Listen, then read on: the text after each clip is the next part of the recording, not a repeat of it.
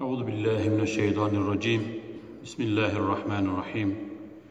الحمد لله رب العالمين والصلاة والسلام على رسولنا محمد وعلى آله وصحبه أجمعين. رب اشرح لي صدري ويسر لي أمري واحلل عقدة من لساني يفقه قولي. رب زدنا علما وفهما وألحقنا بالصالحين. ve ahiru da'vana enilhamdülillahi rabbil alemin. Uzar Rabbimize sonsuz hamdü senalar ve tarifler olsun. Sonuncu Peygamberimiz Hz. Muhammed Mustafa Aleyhisselatu Vesselam'a Allah'ın salatı, salamı, rahmeti, hayır duası olsun ve aynı zamanda ehl-i beytine, ashabına ve cümle inananların müminlerin üzerine Allah'ın salamı, rahmeti ve bereketi olsun. Esselamu Aleyküm və Rəhmətullahi və Bərəkət. Rəbbimizə həmd edirik, çox şükür edirik ki, uca Allah bizləri yenə cümə günündə bu məbədə, bu ibadət olunan yerə, ibadətgaha, məscidlərə gəlməmiz üçün sizlərə, bütün müsəlmanlara uca Allah bugünkü gündə də bir fürsət vermişdi ki, və biz bu fürsətlə də inşallah günahlarımızın keçən cümə ilə bu cümə arasında böyük günahlardan çəkindiyimiz sürəcə, müddətcə kiçik günahların bağışlanmasına bir kəfarə, bir vəsilə olacaqdır inşallah. Allahsə, qulluq etmək, uca Allaha qulluq etmək çox vacib bir məsələdir. Gözəl bir ifadə var, bir nəfərə, bir salih bir insana xas bir ifadədir. Nə deyir? Bu dünyada, bu dünyada ən çətin iş Allaha qulluq edə bilməkdir. Yəni, qul ola bilməkdir. Çox çətindir. Gerçəkdən Allaha qul olmaq ən çətin məsələlərdən birisidir. Yəni, biz haqqı ilə qul ola bilirik, yəni Rəbbimizə onu bacarmırıq. Hətta hədis şərəflərdə buyurulur ki, Peyğəmbər aleyhissalatü vesselam buyurur, yəni səmada, arşda bir barmaq yer belə yoxdur ki, orada mələklər ibadət halında olmasınlar. Orada mələklər Allah qarşısında kimisi səcdədə, kimisi ruku halında, kimisi səcdə halında orada Allah qarşısında ibadət vəzifələrini yerinə yetirməsinlər.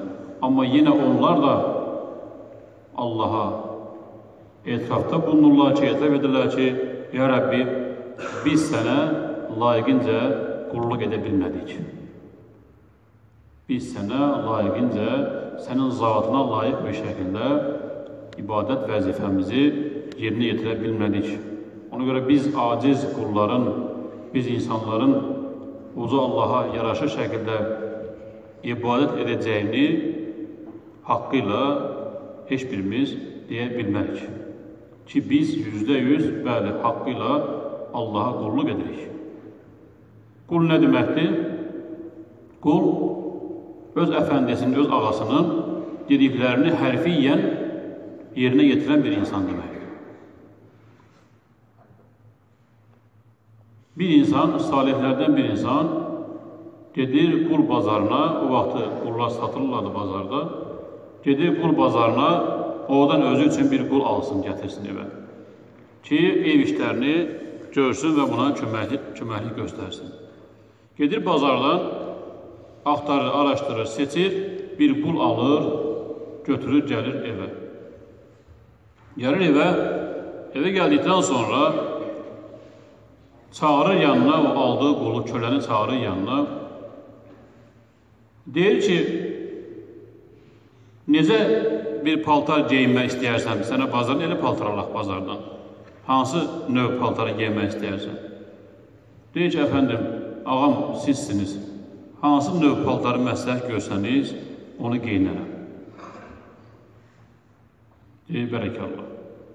Deyir ki, nə yeməkləri yemək istəyirsən, hansı yeməkləri xoşdursan, hansı yeməkləri xoşlamırsan, bilək, ona görə sənə biz yemək hazırlayaq, lazım gələndə, yemək vaxtında. Deyir ki, siz mənim ağamsınız əfəndimsiniz. mən sizə tabiyəm. Mənə hansı yemək məsləhət görsəniz, versəniz, mən onu yeməyi yeyəcəm. Deyir ki, yaxşı, harda yatmaq istəyirsən, sənin yerini harda hazırlayaq? Necə bir yataqda, necə bir yerdə yatmaq istəyirsən? Yenə deyir ki, qardaşlar, siz mənim ağamsınız, siz mənim əfəndimsiniz. Siz məni, mənə hara məsləhət görsəniz, evinizin harasını mənə məsləhət görsəniz, mən orada yatacam. Və bu insan, uzun illər ibadət edən bir insandır bu insan. Salih bir insan oturur ağlayır. Oturur ağlayır. Deyir, ey kölə, sənə deyir, kölə demək olmaz. Sən deyir, müəllimsən. Sən mənə çox şey öyrətdin. Adicə, mən bir insanam, bəşərəm və bir insanam, səni alıb gətirmişəm evə.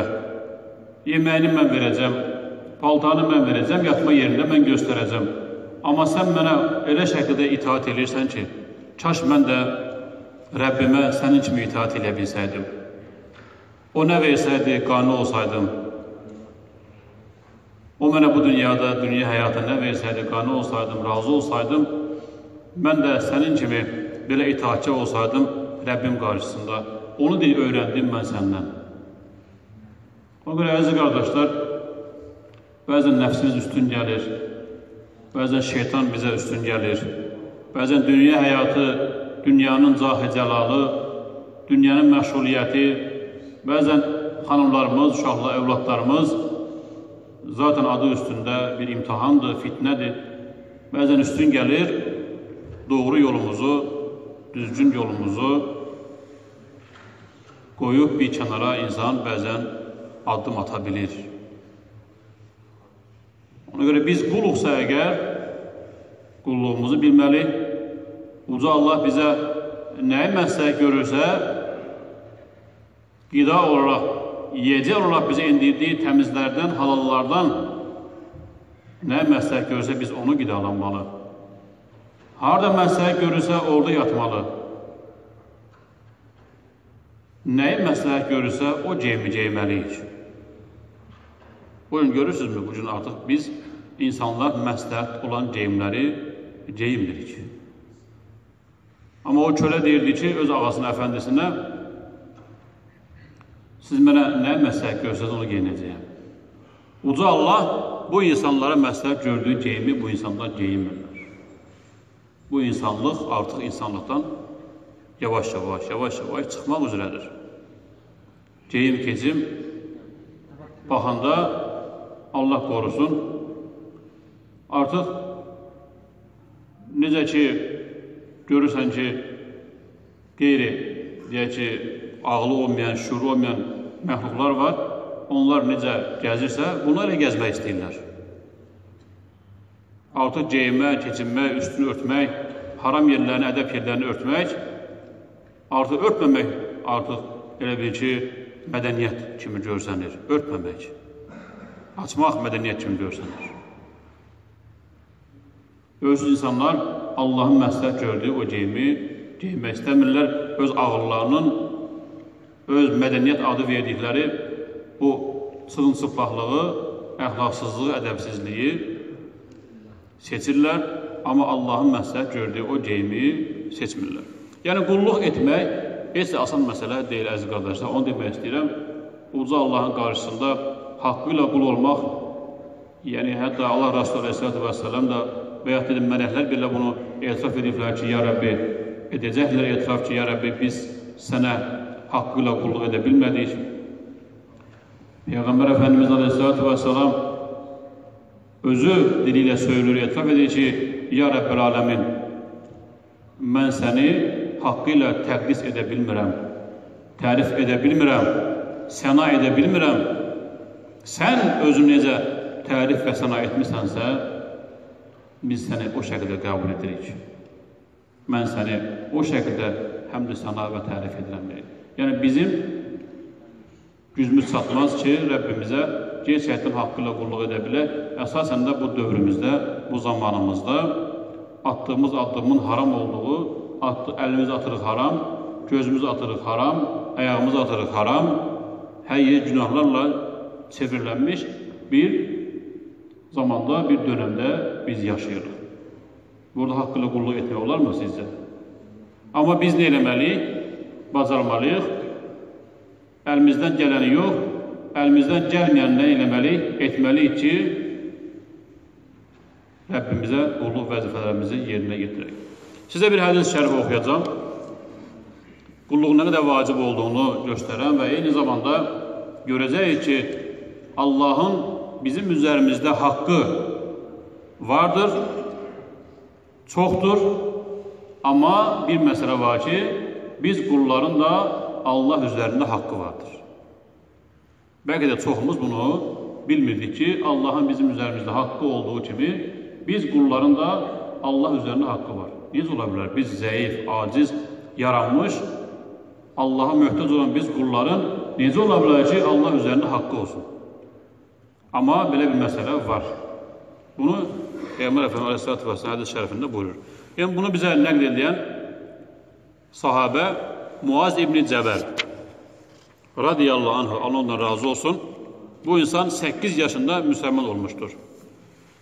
8 yaşında təbii ki, o zamanki yaş dövrü insanlarda yəni yaşı az olsa da, yaşı az olsa da, e, amma daha çox inkişaf edirlərdi, bədən fiziki olaraq, eyni zamanda əqli olaraq inkişaflar güclü olurdu. Yaşları az olmağına baxmayaraq.